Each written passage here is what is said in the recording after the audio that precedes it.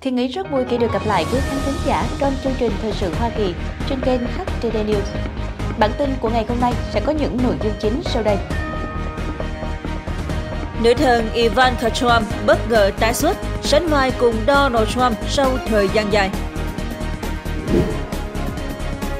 Tỷ phú Elon Musk nhận định về nỗ lực làm suy yếu Nga của Mỹ. Cựu Tổng thống Donald Trump giải thích lý do bây giờ không nên cấm TikTok. Cựu Tổng thống Honduras bị kết án ở Mỹ vì tội buôn bán ma túy. Và ngay sau đây sẽ là những nội dung chi tiết.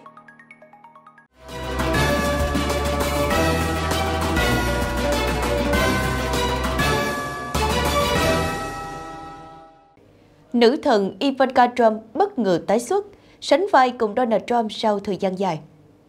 Kính thưa quý vị, cuối tuần qua, cựu Tổng thống Mỹ Donald Trump đã cùng con gái Ivanka Trump có mặt tại một sự kiện đấu võ thuật tổng hợp UFC 299 của giải đấu UFC. Được biết, ông Trump xuất hiện tại sự kiện này chỉ vài giờ sau khi ông có bài phát biểu tại một cuộc biểu tình ở Rome, Georgia. Cũng giống như những lần xuất hiện trước đây của ông tại các sự kiện UFC, ông Trump đã tham gia cùng với người sáng lập tổ chức Dana White và được người hâm mộ dành tràng pháo tay nồng nhiệt khi bài hát Kick Rock vang lên khắp nhà thi đấu. Thưa quý vị, tuy nhiên sự xuất hiện của ông Trump tại sự kiện lại càng nhận thêm nhiều sự chú ý khi ông đồng hành cùng con gái Ivanka và con rể Jared Kushner Cặp đôi vừa trở về từ Ấn Độ sau khi dự tiệc cưới ở nhà tỷ phú Mukesh Ambani. Có mặt tại đấu trường của UFC, Ivanka diện chiếc váy quây đen đơn giản cùng mái tóc thẳng buông xõa. Dù diện trang phục có phần đơn giản nhưng lối trang điểm ấn tượng đã khiến người từng được mệnh danh là nữ thần Nhà Trắng trở nên vô cùng nổi bật. Sau khi loạt ảnh được đăng tải, không ít người tỏ ra ngưỡng mộ với thân hình, thon gọn, vẻ đẹp ngày càng cuốn hút theo thời gian của Ivanka, dù cô đã ở ngoài tuổi 42 và từng trải qua 3 lần sinh nở. Mirror cho biết đây cũng là lần hiếm hoi của cả hai cha con nhà Trump có mặt tại một sự kiện giải trí. Lần gần đây nhất cặp cha con tỷ phú này xuất hiện công khai đã là từ tháng 1 2024 tại đám tang của mẹ bà Melania Trump ở Palm Beach.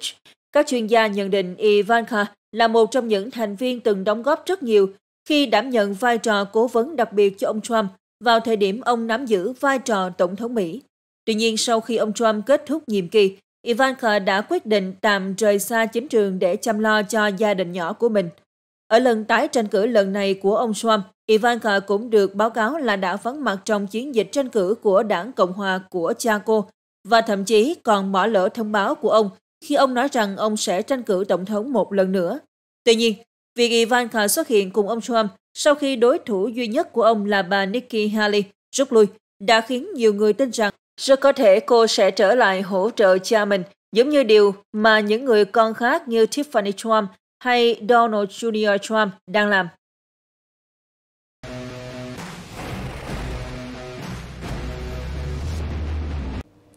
Tỷ phú Elon Musk nhận định về nỗ lực làm suy yếu Nga của Mỹ.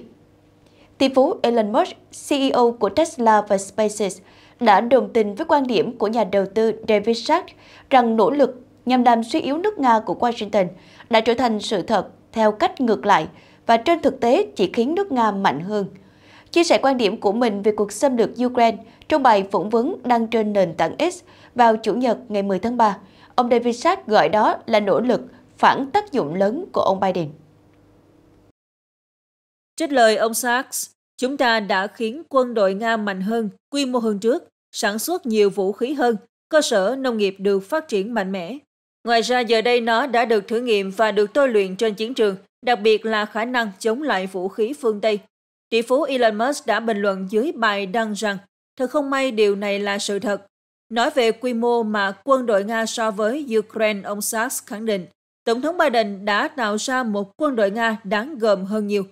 Trong khi đó, chính Mỹ lại chứng kiến kho dự trữ của mình đã cạn kiệt và trống tuếch. Theo ông Sachs, các lệnh trừng phạt kinh tế đối với Nga đã trở thành một tính toán sai lầm khác trong chính sách của ông Biden.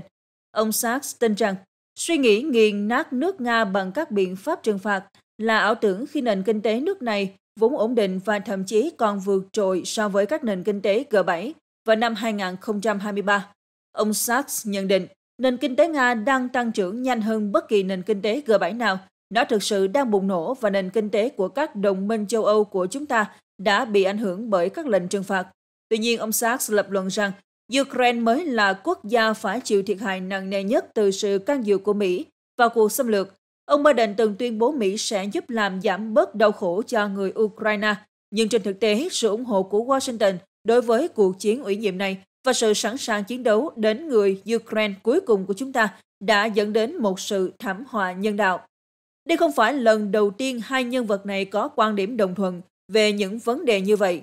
Hồi đầu tháng, ông Musk đồng ý với tuyên bố của ông Sachs trên nền tảng X rằng NATO đã đối mặt với một cuộc khủng hoảng sống còn sau sự sụp đổ của Liên Xô và quyết định bắt tay vào một cuộc mở rộng để lấp đầy khoảng trống.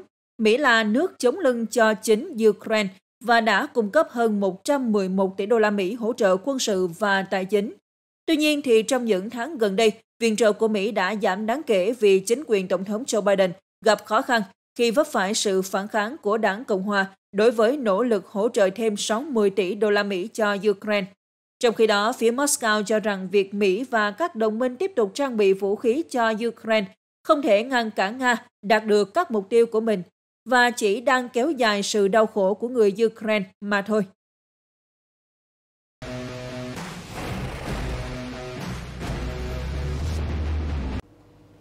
Cựu Tổng thống Donald Trump giải thích lý do bây giờ không nên cấm TikTok. Cựu Tổng thống Donald Trump khi cầm quyền đã nỗ lực cấm TikTok, nhưng bây giờ ông đã đảo ngược quan điểm. Ông nêu lý do không nên cấm TikTok khi phát biểu với đài CNBC hôm thứ Hai ngày 11 tháng 3.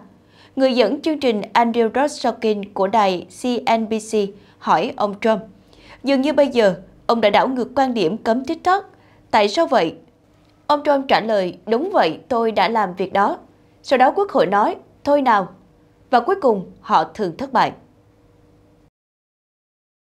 Trong nhiệm kỳ tại Tòa Bạch Ốc, Tổng thống Trump đã nỗ lực cấm TikTok bằng các lệnh hành pháp. Lệnh cấm của ông Trump khi đó nêu rõ, lan truyền tại Mỹ các ứng dụng di động do các công ty của Cộng hòa Nhân dân Trung Hoa phát triển và sở hữu là mối đe dọa đối với an ninh quốc gia, chính sách đối ngoại và nền kinh tế Mỹ.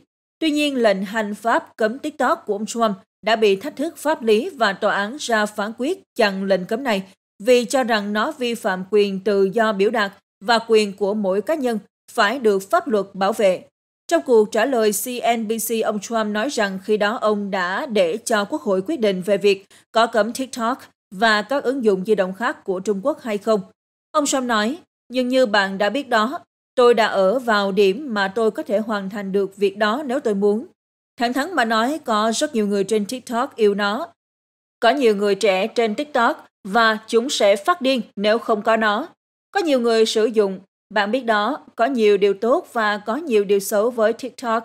Nhưng một điều tôi không thích là rằng nếu không có TikTok, bạn có thể làm cho Facebook lớn mạnh hơn. Và tôi nhận ra Facebook cùng với nhiều hãng truyền thông là kẻ thù của người dân.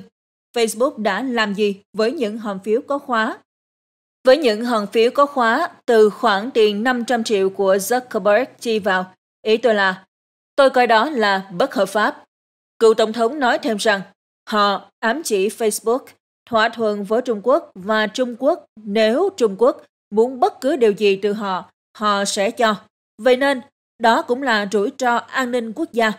Nhưng khi tôi nhìn vào việc đó, tôi sẽ không tìm cách làm cho Facebook tăng trưởng gấp đôi. Và nếu bạn cấm TikTok, Facebook và các mạng khác, nhưng phần nhiều là Facebook sẽ là bên được hưởng lợi lớn. Và tôi nghĩ Facebook rõ ràng là rất tồi tệ cho đất nước chúng ta, đặc biệt là về bầu cử. Tuy nhiên ông Trump vẫn khẳng định TikTok là mối đe dọa đối với an ninh quốc gia Mỹ. Khi người dẫn chương trình Andrew Ross Sorkin hỏi liệu ông có coi TikTok là mối đe dọa đối với an ninh quốc gia, ông Trump đáp dứt khoát, tôi thực sự tin về điều đó. Ông Trump nói rằng tôi thực sự tin như vậy và chúng ta phải thừa nhận rằng chúng ta đang bảo vệ quyền riêng tư và quyền dữ liệu của người dân Mỹ.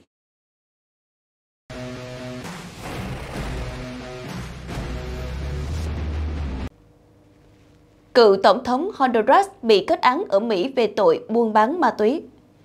Cựu Tổng thống Honduras phải đối mặt với án tù chung thân sau khi bị kết án ở New York với 3 tội danh liên quan đến nhập khẩu cocaine vào Hoa Kỳ và sử dụng súng máy cũng như các loại vũ khí khác trong kế hoạch này. Bộ Tư pháp Hoa Kỳ cho biết, cựu Tổng thống Honduras John Orlando Hernandez, người từng giữ chức lãnh đạo quốc gia Trung Mỹ này từ năm 2014 đến năm 2022, đã bị kết án vào hôm thứ Sáu ngày 8 tháng 3 và dự kiến sẽ bị kết án vào ngày 26 tháng 6.